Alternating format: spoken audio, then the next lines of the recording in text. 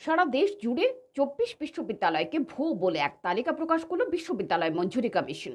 গোটা দেশ জুড়ে বেছে বেছে চব্বিশ বিশ্ববিদ্যালয়ের নামের তালিকা তৈরি করে তা প্রকাশ করেছে ইউজিসি ইউজিসির চব্বিশটি বিশ্ববিদ্যালয়ের তালিকায় রয়েছে পশ্চিমবঙ্গের দুটো বিশ্ববিদ্যালয়ের নাম।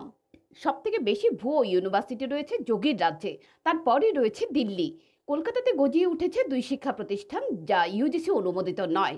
অর্থাৎ এই সমস্ত শিক্ষা প্রতিষ্ঠান থেকে পাস করার পর দাম নেই শংসাপত্রের। এদিকে গুচ্ছের টাকা নিয়ে ভর্তি হয়েছে একাধিক পড়ুয়া। শুধু পশ্চিমবঙ্গেই নয় বহির্রাজ্যের বহু পড়ুয়া রয়েছে। কলকাতার Indian institute of alternative medicine এবং institute of alternative medicine and রিসার্চের নাম রয়েছে তালিকায়।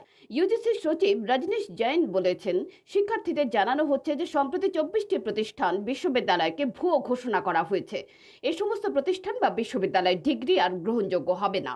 এর মধ্যে আটটি রয়েছে উত্তরপ্রদেশে, সাতটি রয়েছে দিল্লিতে। ওড়িশা এবং পশ্চিমবঙ্গে এই জাতীয় দুটো প্রতিষ্ঠান রয়েছে। কেরালা, কর্ণাটক, মহারাষ্ট্র এবং পণ্ডিচেরিতেও ভুয়ো প্রতিষ্ঠান বা বিশ্ববিদ্যালয় রয়েছে।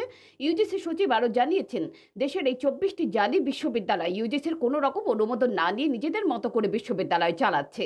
উল্লেখ্য, দেশের প্রতিটি বিশ্ববিদ্যালয় ইউনিভার্সিটি গ্রান্ট কমিশনের অনুমোদন প্রাপ্ত তবে এ সমস্ত ইউনিভার্সিটির সঙ্গে ইউজিসির কোনো যোগসূত্র নেই বলে জানানো হয়েছে। ইউজিসির সচিব জানিয়েছেন, এই সমস্ত বিশ্ববিদ্যালয়ের কার্যকলাপ ইউজিসি আইনের পরিপন্থী এবং ইউজিসির অনুমোদন ছাড়া বিশ্ববিদ্যালয় কর্তৃপক্ষের ডিগ্রি দেবার কোনো অধিকার নেই। রিপোর্ট, চ্যানেল দিন রাত।